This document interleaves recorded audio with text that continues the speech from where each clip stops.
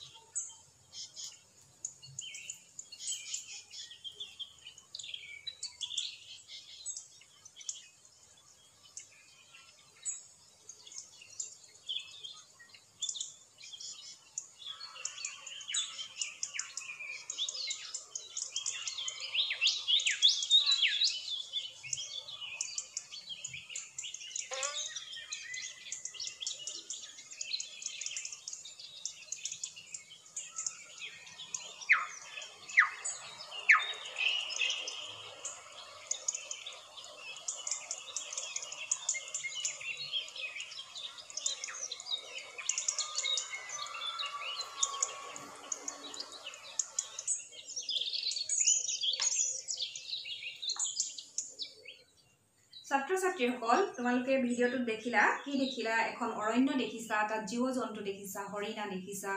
বিশেষকৈ তোমালোকে দেখিছা দেখিছা এশিঙীয়া গড় এক শিঙীয়া গড় যি আমাৰ অসমৰ গৌৰৱ কাজিৰঙাৰ গৌৰৱ। হয় আমি ইতিমধ্যে জানিব পাৰিছোঁ যে কি জানিব পাৰিছোঁ আমি পাহিহঁত কলৈ যাবলৈ ওলাইছিল? কাজিৰঙা ৰাষ্ট্ৰীয় উদ্যানলৈ।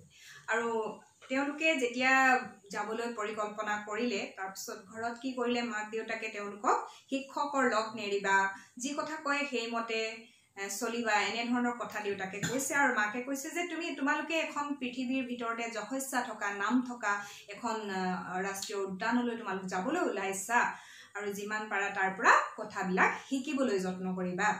আৰু সেই কথাবিলাকেৰে মাক দেউতাকে তেওঁলোকক যাবলৈ মানে দিছে।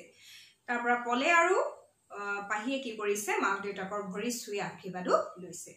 পিছৰ অংশত আমি কি পাম এতিয়া? যাত্ৰাৰ আনন্দ। হয় এটা যাত্ৰা কৰিলে আমাৰ আনন্দ লাগে। তোমালোকৰো এনেকুৱা অভিজ্ঞতা নিশ্চয় আছে যে যাত্ৰা কৰাৰ অভিজ্ঞতা আছে। হয়তো তোমালোকে কাজিৰঙা অভয়া অভয়াৰণ্যখন বা কাজিৰঙা ৰাষ্ট্ৰীয় উদ্যানখন সকলোৱে নেদেখিলেও প্ৰায়বিলাকে দেখিছা। এতিয়া তথাপিও আমি যিহেতু পাঠত তাৰ লগত কিছুমান কথা আমাক লেখিকাই জানিবলৈ দিছে আমি সেইবিলাক জানি লোৱাটো উচিত হ'ব। বেছ হুলস্থুল আৰু নাচ গান কৰি দুইখন বাছ দুখন বাছ লৈছে তেওঁলোকে। বাছ দুখন কাজিৰঙা অভয়াৰণ্যৰ দিশে আগবাঢ়ি গৈছে আৰু ল'ৰা ছোৱালীবিলাকে খুব ফূৰ্তি কৰিছে। যিহেতু এটা যাত্ৰাত ফূৰ্তি ফাৰ্তা কৰা হয় তোমালোকৰ সেই অভিজ্ঞতা নিশ্চয় আছে। আৰু তেওঁলোকৰ মাজত শিক্ষকসকলে কি কৰিছে নেতা আৰু নেত্ৰী পাতি দিছে যাতে কামবিলাক শৃংখলাবদ্ধভাৱে হ'ব পাৰে। পাহি আৰু বিদিকাক দায়িত্ব দিছে কি দায়িত্ব দিছে? ছাত্ৰ ছাত্ৰীৰ সংখ্যা গণনা কৰিবলৈ আৰু তেওঁলোকৰ যি যি অসুবিধা আছে সেইবিলাকলৈ মন দিবলৈ। আৰু সৌৰভ আৰু আফতাবক নৱম শ্ৰেণীৰ তেওঁলোক তেওঁলোকক দায়িত্ব দিয়া হৈছে কি? খাদ্যবস্তুৰ পেকেট আৰু পানীৰ বটল সকলোৰে মাজত সমভাৱে বিতৰণ কৰিবলৈ। সৰবে টান পাইছে কামটো কৰিবলৈ কিন্তু যেতিয়া শিক্ষকে বুজাই দিছে যে কামৰ কোনো পাৰ্থক্য নাই কাম ল'ৰাই হওক বা ছোৱালীয়ে হওক সকলো কাম কৰিবই লাগিব আৰু যদি তোমালোকে কৰিব নোৱাৰা তোমালোকে তেতিয়াহ'লে ছোৱালীতকৈ দুৰ্বল নেকি? তেতিয়া কিন্তু তেওঁলোকে নিজৰ ভুলটো বুজি পাইছে আৰু তেওঁলোকে কামটো কৰিবলৈ পাৰিম বুলি কৈছে আৰু তাতে এটা ফূৰ্তিৰ লহৰ উজলি উঠিছে।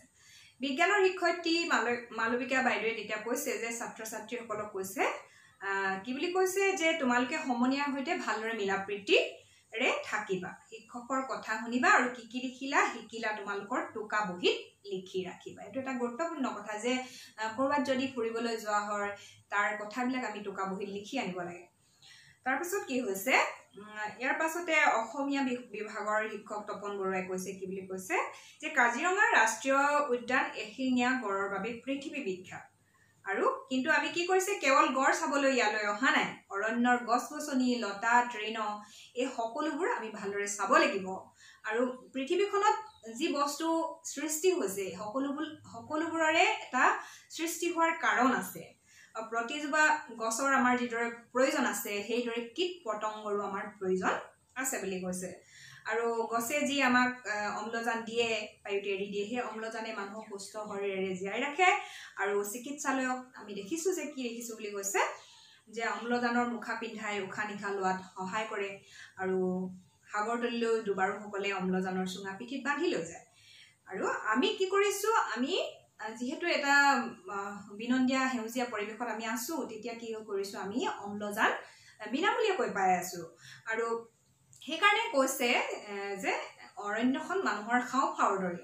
অৰণ্য একোখনক কি বুলি কৈছে গছ গছনি সুৰক্ষা দিয়া দায়িত্ব কিন্তু তোমালোকৰ বুলি কৈছে। গছে আমাক কি দিয়ে? ফল দিয়ে ছাঁ দিয়ে আমি গছৰ পৰা অক্সিজেনো পাওঁ আৰু কীট পতংগ চৰাই চিৰিকটিক কি দিয়ে? আশ্ৰয় দিয়ে গছে গছে। আৰু সকলোতকৈ ডাঙৰ কথা কি? কি বুলি কৈছে? ফল নিদিয়া গছেও আকৌ আমাক জীয়াই থকাৰ সমল দিয়ে বা অম্লজান দিয়ে। এতিয়া সকলোৱে সেই কথাখিনি মন দি শুনিছে। ছাৰে যিহেতু অসমীয়া ছাৰে তপন বৰুৱাই কৈছে কথা কেইষাৰ সকলোৱে শুনিছে মন দি। আৰু সকলোৱে ৰাতিপুৱাৰ যি তেওঁলোকৰ কাজিৰঙা ভ্ৰমণ হ'ব কাজিৰঙাৰ মাজলৈ তেওঁলোক যাব সেই কাৰণে সকলোৱে প্ৰস্তুতি কৰিবলৈ মানে শিক্ষকসকলে তেওঁলোকক দিহা পৰামৰ্শ দিছে। আৰু ৰাতিপুৱা সোনকালে উঠাৰ কথাটো কৈছে যে গড় হাতী হৰিণা পহু চাবলৈ মন থাকিলে তোমালোকে সোনকালে উঠিব লাগিব। পুৱা সোনকালে নুঠিলে কি হ'ব? তোমালোকে চাবলৈ নাপাবা। সেই কথাটো কোনে কৈছে? মালবিকা বাইদেৱে কৈছে। আৰু যি চাৰি বজাতে সাজু হ'ব পাৰিব আৰু তেওঁহে কি কৰিব? ভালকৈ চাবলৈ যাব পাৰিব। নহ'লে শুয়ে থাকিব লাগিব। এনেধৰণৰ আমাৰ সময় জ্ঞানটো ইয়াত আমি দেখিবলৈ পাইছোঁ। সময় জ্ঞান নাথাকিলে মানুহে সুবিধাৰ পৰা বঞ্চিত হ'বলগীয়া হয়। এতিয়া আকৌ কি হৈছে চোৱা নতুন নতুন বিপদে তেওঁলোকক লগ দিব।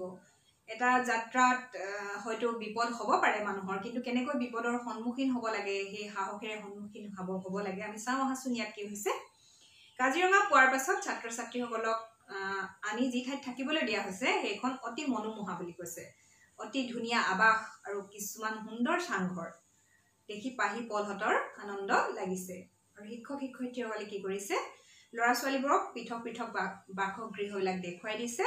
আৰু প্ৰত্যেকে নিজৰ বিচনা আৰু বিচনাবোৰ পৰিপাতি কৰি ৰাখিবলৈ বা নিজৰ আঁঠুৱা তৰা কাম বা অন্যান্য কামবিলাক নিজে নিজে কৰিবলৈ শিক্ষকে পৰামৰ্শ দিছে। এতিয়া তাৰপাছত কি হৈছে চোৱা? পলে কিন্তু কি কৈছে? ভনীয়েকৰ পলে কি কৰিছে? অঁ ভনীয়েকৰ কাষলৈ আহি কৈছে যে এইবিলাক মই কৰিব নোৱাৰো তই কৰি দিবি। এনেধৰণৰ যিখিনি আমি আগতে পাই আহিছোঁ সেই কথাটোকে পল পুনৰাবৃত্তি কৰিছে আৰু সেইকাৰণে কৈছে যে মনে মনে থকা ছাৰ বাইদেৱে শুনিব। ডাঙৰ চহৰৰ গছ গছনিৰে ভৰা সুবৃহৎ আলহী ঘৰ চাৰিওফালে ল'ৰা ছোৱালীবোৰে ঘূৰি আনন্দ কৰিলে। কোনোবাই দোলনাত উঠিলে কোনোবাই ফুটবল উলিয়াই আনিলে ছোৱালীবোৰে জুম বান্ধি কথা পাতিবলৈ ধৰিলে। দুপৰীয়াৰ ভাত সাজ খাই সকলোৱে খোৱা ঘৰত কেইবাখনো সুন্দৰ মেজত বহিল।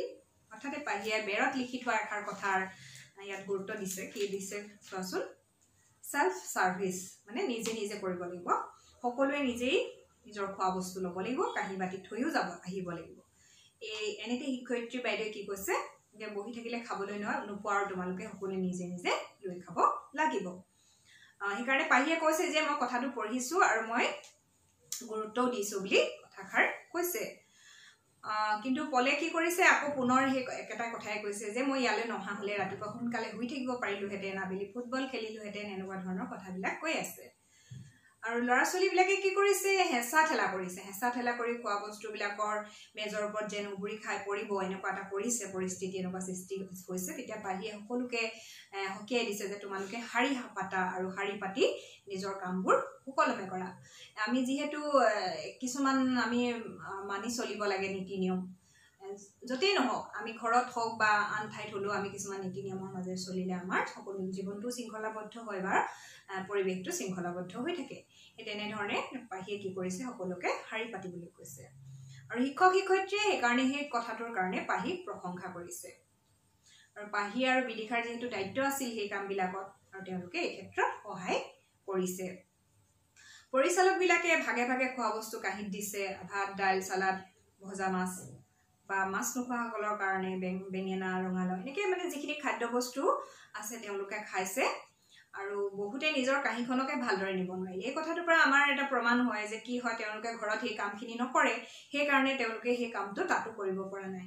সেইকাৰণে আত্মনিৰ্ভৰশীল হ'বলৈ যে যত্ন কৰিব লাগে লেখিকাই সেই কথাটো ইয়াত মানে ধুনীয়াকৈ আমাক দেখাই দিছে শিক্ষক শিক্ষয়িত্ৰীৰ যোগেদি বা ইয়াত আমি যিখিনি পৰিৱেশ এটাৰ সৃষ্টি হৈছে এই কথাটোৰ পৰা তোমালোকে নিশ্চয় বুজি পাইছা যে মানুহ আত্ম তোমালোকক এইটো এটা শিক্ষা দিয়া হৈছে পাঠটিৰ জৰিয়তে যে আত্মনিৰ্ভৰশীল হ'ব লাগে। আমি যিকোনো পৰিস্থিতিতে মোকাবিলা কৰিবলৈ হ'লে বা মিলিবলৈ হ'লে আমি কি কৰিব লাগিব?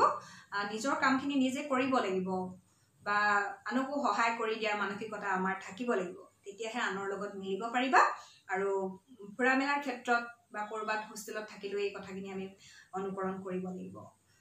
এতিয়া ইমানখিনিলৈকে আমি আমাৰ অৰণ্য যাত্ৰাৰ এই কথাখিনি আমি পালোঁ কাজিৰঙা ৰাষ্ট্ৰীয় উদ্যানৰ কথা পালোঁ।